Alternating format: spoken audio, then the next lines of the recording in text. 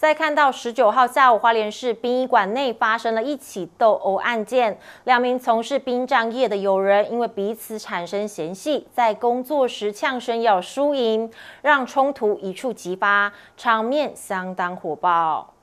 两名男子在灵堂前大打出手，谁也不让谁，就这样围着车子打了一圈，直到旁边人看不下去，前来劝架。根据了解，两名男子在殡仪馆工作时是同事，双方之前就有嫌隙。黑衣男对白衣男呛瞎，说要输赢，白衣男子不满，才会先朝对方挥拳，双方爆发扭打。白衣男从车上拿出一把 BB 枪，朝黑衣男开枪，枪被夺走后，反追着对方不放。之后，黑衣男躲回车上等。等待有人支援，来支援的同伙一名拿武器，另一名徒手上前助阵。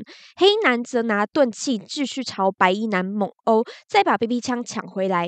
一行人打完后就上车逃逸离开。前面遇到他会跟他开玩笑说：“不要在凌晨打给我了，我没办法睡觉。”这样子跟他开玩笑，所以他就是不不太高兴就对了。事发当天，白衣男不爽，就在丧礼场合公然呛瞎，说要输赢。黑衣男觉得一旁都是死者，很不尊重，可以私下再处理，才会不满朝对方挥拳。在本局接获手机自动报案，位置于市立殡仪馆，主要人员给予亲眼扫孔，直接包扎。